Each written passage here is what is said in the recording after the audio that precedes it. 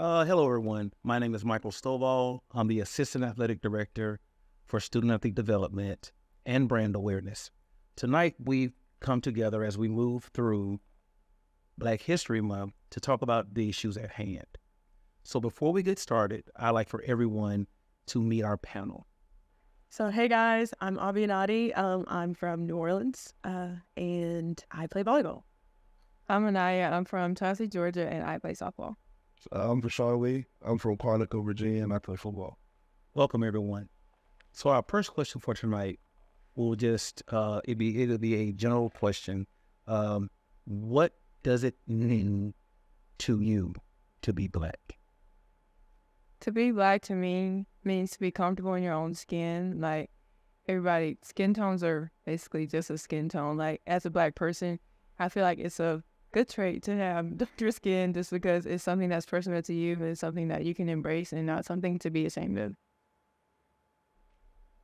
Um, for me, I think being black is like having um, a culture behind you, having something kind of propelling you forward, something to look to. It's kind of like um, a type of, I mean, I, I feel like we always throw around the word excellence, but it's just kind of like uh, a lot of people rooting for you, um, the commu- within the community, especially um, rooting for you to be great, always thinking that you can rise above anywhere you are. So I think that's what being black is me.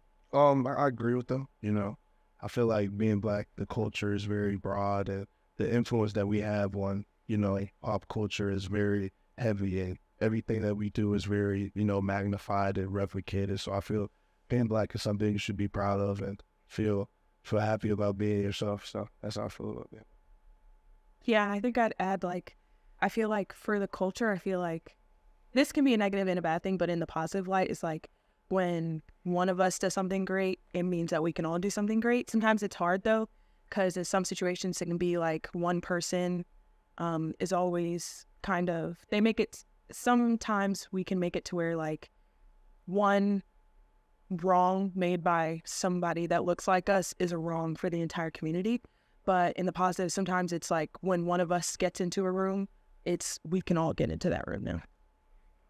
Yeah, I'd agree with that. And something that can go along with the culture aspect is like change. Like she said, as a group, we come strong as a group. So like culture and like igniting change is like part of it. Like Black is beautiful.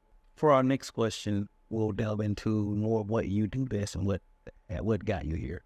So for you, what does it mean to be a black student athlete? Well, for me, being a black student athlete, you know, being able to represent my culture and my family with my name on the back, playing in the field is something that I endear very, I, I treat it very serious. Um, I also think um, just the community of the black community and playing sports is always, it's held higher than other things. And they're always there to, you know, build you up, lift you up in all your failings or in your success. And they're always there to cheer for you.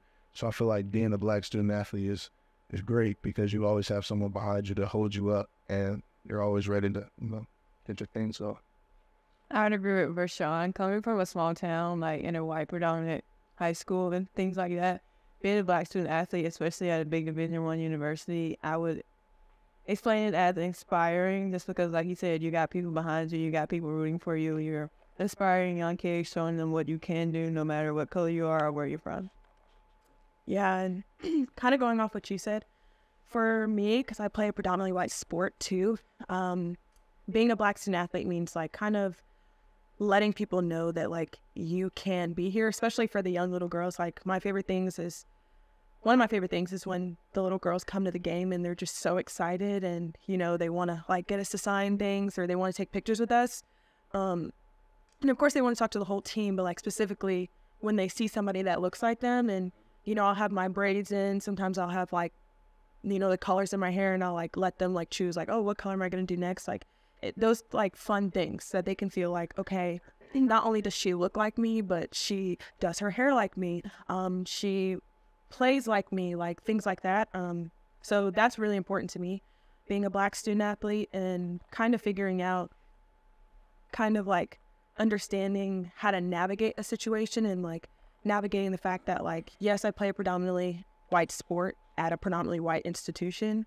And you know playing club or like you know starting out playing club or in high school you don't see a lot of people that look like you that play the sport. So it's navigating you know figuring out like how I feel like I can interact, how I can react compared to other people, or how I can, you know, address certain things or because you know sometimes like at, you know when you're getting excited after a game or like you want to point you like want to go in and you know so my teams were like yay so it's you know figuring out how to like okay is that okay? Like can i be myself or is this do i need to like be more like how everybody else is cheering and figuring stuff like that? So you know if i'm doing it on a big stage um then it lets the little girls know that they can do it in their club teams or in their high school teams or in their backyard if you're just playing with some friends that like you can just like be yourself and yeah I would bounce off of that. Also playing predominantly white sport. I see saying there are a lot of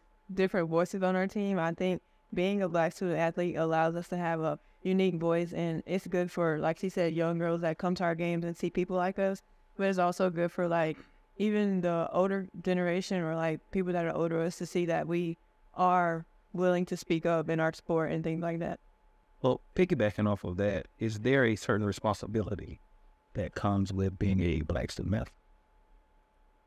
I think it's unfortunate. I feel like it's more of like a pressure that you have to kind of be a certain type of way so that, because, you know, we are on a large stage, which means we can go under scrutiny. We're like in the public eye.